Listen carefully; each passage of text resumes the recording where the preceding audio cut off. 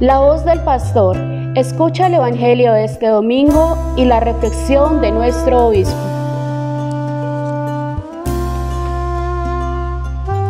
Muy queridos hermanos y hermanas, ya cada vez nos vamos acercando más a la finalización del año. El próximo domingo será la fiesta de Cristo Rey y con ese domingo terminaremos el año litúrgico. Quiero compartir con ustedes el Evangelio de hoy, que indudablemente ya está en esta línea de preparación al final del año. Está tomado del Evangelio de San Mateo, capítulo 25, versículos del 14 al 30. En aquel tiempo dijo Jesús a sus discípulos esta parábola. Un hombre al irse de viaje llamó a sus siervos y los dejó al cargo de sus bienes. A uno le dejó cinco talentos, a otro dos y a otro uno, a cada cual según su capacidad. Luego se marchó.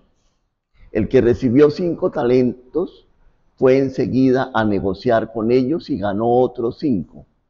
El que recibió dos hizo lo mismo y ganó otros dos. En cambio, el que recibió uno fue a hacer un hoyo en la tierra y escondió el dinero de su señor.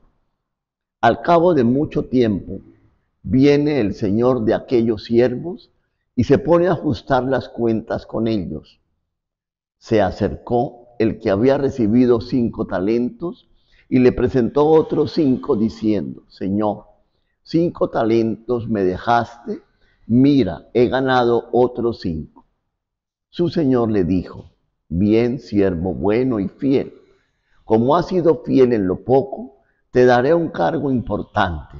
Entra en el gozo de tu Señor.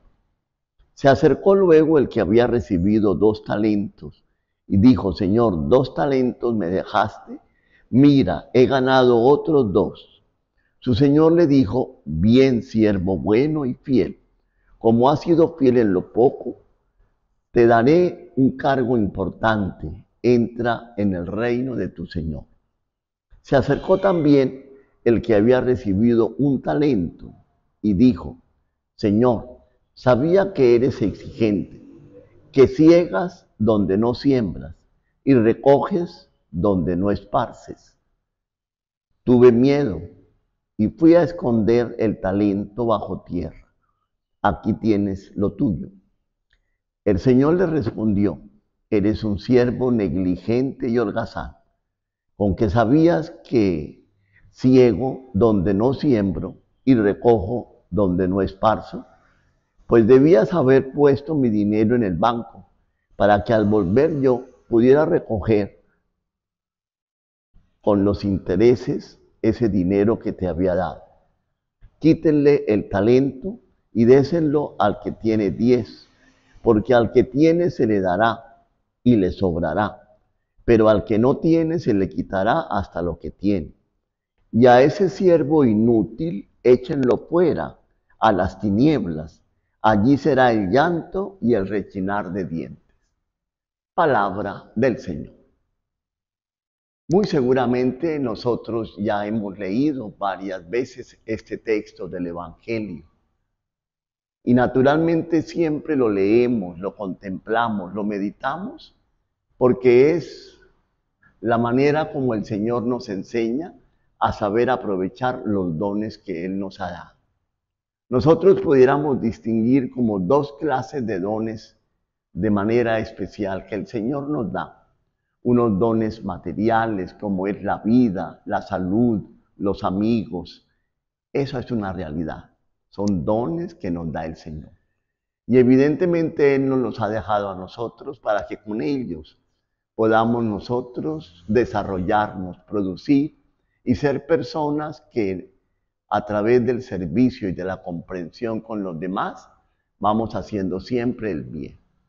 Pero también podemos tener otros dones, los dones de la gracia. Los dones de la gracia como es la presencia de Jesús en la Eucaristía ese es un don. Y los demás sacramentos, ese es un don. La palabra de Dios que escuchamos, ese es un don. Y evidentemente nuestros ratos de oración personal son dones que el Señor nos ha dado. Y estos dones que Él nos ha dado, Él quiere que nosotros realmente los ejercitemos. Porque al final de nuestra existencia se nos va a pedir cuenta de lo que hemos hecho con esos dones. Por eso dice muy bien la parábola, a uno le dio cinco, a otro dos. Y cada uno produjo desde lo que tenía. Por eso la invitación que nos hace hoy la palabra del Señor es hacer que nuestros dones, nuestras cualidades, lo que el Señor nos ha dado, los pongamos a producir. Que no nos quedemos con el don encerrado y en un hueco, sino que por el contrario nuestras acciones vayan demostrando que esos dones nosotros los hemos puesto al servicio de los demás. Y así al final de nuestra vida recibiremos la gran bendición. Vengan a mí porque les tengo preparado este reino. Y evidentemente recibiremos el gran abrazo del Señor Dios porque hemos sabido aprovechar lo que Él nos ha dado. Les imparto mi bendición en el nombre del Padre, del Hijo y del Espíritu Santo. Amén. Feliz domingo para todos.